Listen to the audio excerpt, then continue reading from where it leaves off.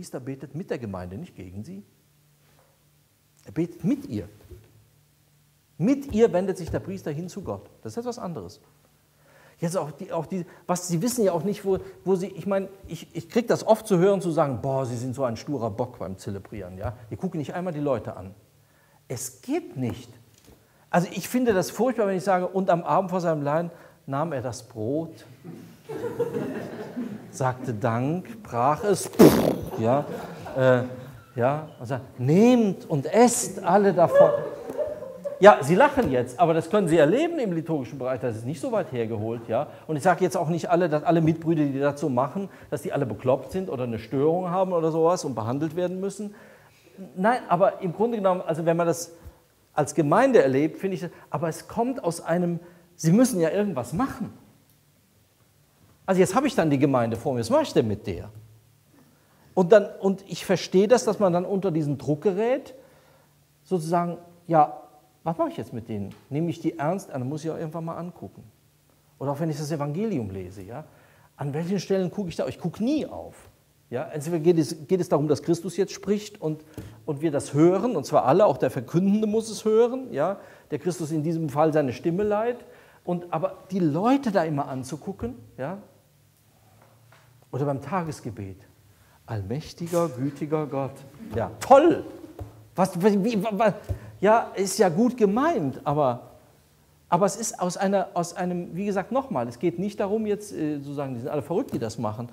Wie, wie soll man mit dieser Situation zurechtkommen? Es gibt dafür keine Erfahrung. Und deshalb ist, das darf man ja jetzt wahrscheinlich 50 Jahre danach sagen, ist diese Performance verunglückt, weil es auch keine Tradition dafür gibt. Das geht, also man kann das nachweisen, Stefan Heid hat gerade einen ziemlich scharfen Aufsatz dazu geschrieben, über diese Putschistengruppe. Ähm, die von großen Namen angeführt wird, etwa Theodor Klauser. Ja, das ist jetzt nicht irgendwer, kleine abendliche Liturgie, aber es war ein Missverständnis ja, mit dem Trapezarion, das man da hinstellt und mit den, mit den Tischen und dem Dings. Und nur weil das von der Wand abgerückt ist, dachte man schon, man hat eine andere Zelebrationsrichtung.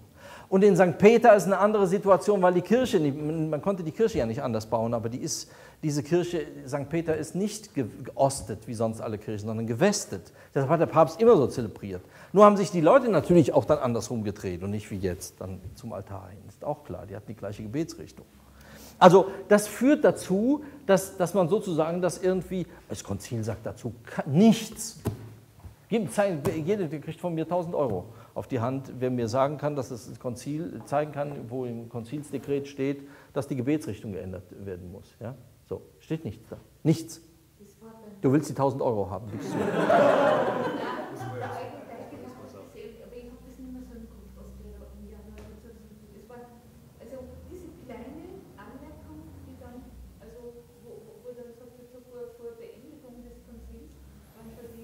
Ja, das gab, also ich habe jetzt, ich habe, nein, im Konzil gibt es keine Anmerkung dazu.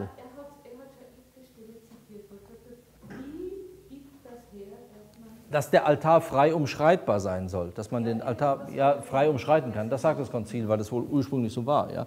Aber man hat aber schon, ich habe das jetzt in den Memoiren von oder in einer Biografie über ähm, Kardinal Höffner gelesen, dass man da schon 1965, also da war das Konzil de facto noch nicht zu Ende in St. Antonius in Münster. Das hat dann republikweit große Wellen geschlagen. Da haben die schon alles, alles Mögliche gemacht. Das war irgendwann nicht mehr aufzuhalten. Und im Grunde genommen haben sie, haben sie auch natürlich schon angefangen, auch in der Lacher Krypta. Und ich meine, es ist interessant, wenn man, wenn man ähm, ähm, wie heißt es, Guardini, das ist jetzt euer Bistum da, ähm, Rotenfels. Wenn man da hingeht und diese Kapelle besichtigt, ja, jo,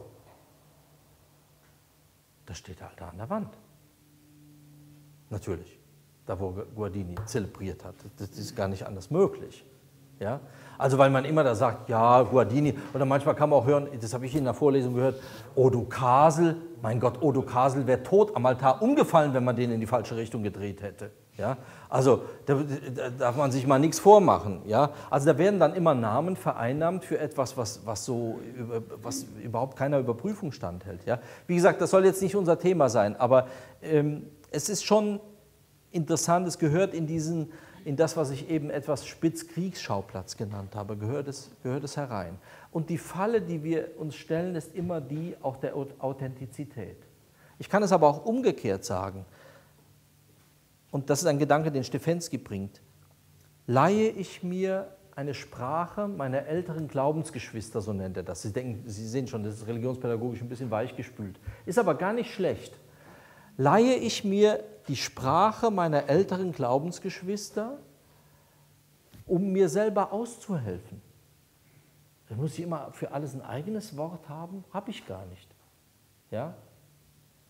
Herr, ich möchte glauben, hilf meinem Unglauben, ist, ein, ist, äh, ja, ist ein, ein, großes Wort aus dem Evangelium, aber es ist ja oft so auch für uns. Ja? Der sagt dann sogar, ich maskiere meinem Unglauben mit der Sprache meiner älteren Glaubensgeschwister, die glauben konnten. Das ist ein Gedanke, den finde ich eigentlich sehr schön und der verrät ein bisschen seine monastische Ausbildung, weil wir das in der Kirche immer tun wenn wir in der Falle sind, das ist natürlich auch, wenn ich das höre, wir müssen heutig sein mit unserer Liturgie. Ja, aber wie? Wie sind wir in unserer Liturgie heutig? Wie machen wir das? Ich meine, wir können das Land auf Land ab besichtigen, wie wir das machen. Also etwa unsere Jugendkirchen, wo ich jetzt auch nicht nur sagen will, ach ja, das, weil das kann man so und so machen. Das ist ein Versuch, heute noch sozusagen den Glauben zu übersetzen an junge Leute. Unsere Bistümer sind allerdings dann recht erstaunt, unsere Pastoralstrategen, dass sie auch, auch die Jugendpfarrer, die wirklich viel investieren, also wenn ich hier in der Stadt etwa Christian Heinz anschaue, ja, dem, dem, dem, kostet das viel, das immer zu überlegen, wie das sonntags geht. Und das ist dann auch noch eine Eucharistie, die gefeiert wird. Ja. Das kann man so wiedererkennen und so. Ja. Das ist mit viel, viel Aufwand verbunden. Aber gleichzeitig steht man ratlos vor einem Phänomen, dass diese jungen Leute heute alle so schrecklich altmodisch sind, heißt das dann. Die sind also von vorgestern. Da gibt es Leute, die gehen in die 62er-Messe. Junge Leute, da ist dann der Drogenvorwurf wieder schnell erhoben, wie beim Zweiten Vatikanum. Die müssen auch irgendwas genommen haben. Ja? Irgendwie sind die jetzt nicht gar. Weil das in unsere, in unsere strategischen Denkmuster einfach nicht hineinpasst. Was finden die denn da? Genauso, wenn, wenn ich so, wie ich jetzt hier sitze, ich meine, das ist ja jetzt noch nicht mal besonders, aber ist einigermaßen korrekt, ja, mit diesem Krägelchen da oben, äh, ja, wenn ich so manchen Mitbrüdern begegne, die vor 50 Jahren geweiht wurden, dann sagen, Gott, ist das kopfkrank, wofür haben wir eigentlich gekämpft? Unsere schönen karierten Hemden und die Jeans, ja. So, und jetzt kommt diese bekloppte Generation wieder und zieht so einen Scheiß an. Das haben wir uns vom Leib gerissen, wir waren froh, dass wir endlich nicht mehr tragen mussten. Ja? Und jetzt machen die machen das freiwillig. Wer zwingt sie dazu? Wie viel Geld kriegen sie dafür? Ja? Wer bezahlt ihnen das? Von wem wird das gesponsert? Ja, so, so ist, ist die Vorstellung. Also, was heißt heutig? Wer definiert, was heutig ist? Und fragen Sie mal in den 70er Jahren, was heutig ist. Ich kann mich noch an den ersten Jugendgottesdienst in meiner Pfarrkirche erinnern. Das war sozusagen in diesem Eifeldorf der Gräuel der Verwüstung als zum ersten Mal da irgendwie so eine Trommel da aufgebaut wurde und wir dann ganz zaghaft versucht haben zu singen, die Sache Jesu braucht Begeisterte. Ja, so. Oh, das hat uns, also großer Gott, wir loben dich, wäre uns wahrscheinlich lieber gewesen. Ja? Aber wir haben die Sache Jesu braucht begeistert. Finden ja auch heute noch immer. Und ich las jetzt, dass unser Weihbischof in Rio de Janeiro am Wasserfall jetzt da irgendwie Laudato Si o mi Signore gesungen hat. Ist auch schön, ist nicht, nicht tot zu kriegen. Ja? Ist das heutig? Ich kenne durchaus viele junge Leute, die mir sagen, oh mein Gott, Herr Pastor, lassen Sie gut sein. Das ist ja so von vorgestern. Ja. Was ist heutig? Also, und die Frage, wie bringen wir dann, was wir als heutig erkennen, in eine Form des Gottesdienstes, die ja immer ein Kommunikationsgeschehen ist. Also, der Gottesdienst lebt vom Ritus. Und Ritus hat immer Invarianz. Das heißt, ein Ritus ist kein Ritus, wenn er jedes Mal anders ist. Also wenn ich mir heute Abend noch überlege bei der Flasche Bier, morgen haben wir vier Erwachsenenfirmungen in der Messe. Ähm, wie mache ich das denn? Ich denke, wir könnten mal vielleicht, können die Schwestern irgendwie so einen Öltanz noch machen? Wir bauen eine Ölmühle vorne auf ich habe für heute Abend ein paar Oliven gekauft, vielleicht kann ich die dann sponsern, ja. und die Schwestern mit wehenden Tüchern ziehen ein Mühlrad und dann tropft das Öl. Irgendwie so könnte ich noch immer so einen Ritus kreieren. Ja? Das wäre bestimmt schön. Unsere Gäste wären sicher amüsiert. Ähm ja, das ist nicht, das kann ich. Das ist ja nicht so schwierig. Ja? Ich sehe schon, nicht alle Schwestern wollen mitmachen. ich sehe schon Vorbehalt in deinen Augen. Äh, aber es ist ja nicht so, als, als hätte es das nicht gegeben. Ja? Vielleicht jetzt nicht so in dieser unterhaltsamen Form, wie ich das jetzt versucht habe, aber also ein Ritus ist nur dann Ritus, wenn er wiederholbar ist und wenn er wiederholt wird und wenn er sich einprägt.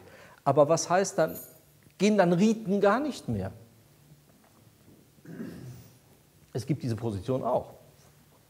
Also eher jetzt, ist mir jetzt von katholischen Liturgiewissenschaftlern nicht bekannt, aber es gibt auch andere Liturgiewissenschaftler, die sagen, der Ritus an sich ist, ist nicht in der Lage, das wiederzugeben, was wir feiern.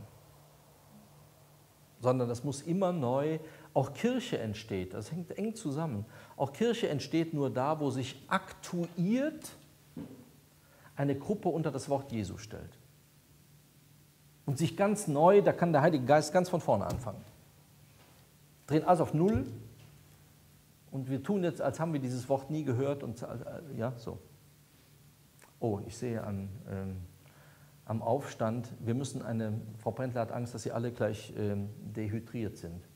Äh, deshalb machen wir einen kurzen Ein. Nennt man das dehydriert? Wenn man zu, ja, danke. Lebensmittelchemiker haben wir hier. Alles klar, gut. Also damit wir nicht dehydriert sind, genau. Wir trinken zu wenig. Ich sage das auch mit diesen Ausdrücken, ja. Aber ähm, denn wir halten jetzt nicht den Ramadan. Die sind übrigens arm dran, ja, unsere, unsere. Jetzt ist Ramadan, aber das ist hart. Ich habe gestern noch mit einem gesprochen, der sagt, es fängt um halb fünf an und vor halb zehn können Sie nichts trinken und nichts essen. Ja? Also von morgens halb fünf bis abends halb zehn, weil es jetzt so lange hell ist und dann auch nicht, noch nicht mal bewölkt ist. Ja? Es ist wirklich hart. Wäre mal noch eine Anregung für unsere Fastenzeit, aber dazu später. Ja? Jetzt machen wir bitte eine Pause bis 20 nach elf. Und bitte trinken Sie viel.